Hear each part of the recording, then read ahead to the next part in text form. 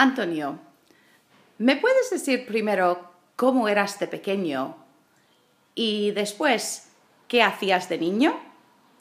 Bueno, de pequeño era una persona muy inquieta.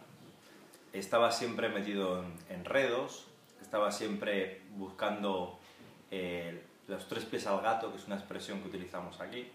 Es decir, siempre estaba con ganas de, de, broma, con ganas de, de divertirme, con ganas de pasarlo bien.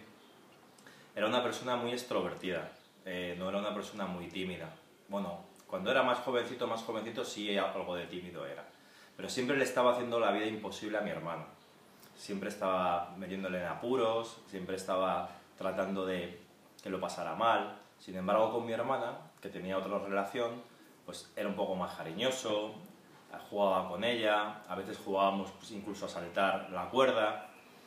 Con mis amigos, sin embargo, era pues mucho más fanfarrón, era un poquito más atrevido, siempre me gustaba eh, presumir, eh, no sé, un poquito más echado para adelante.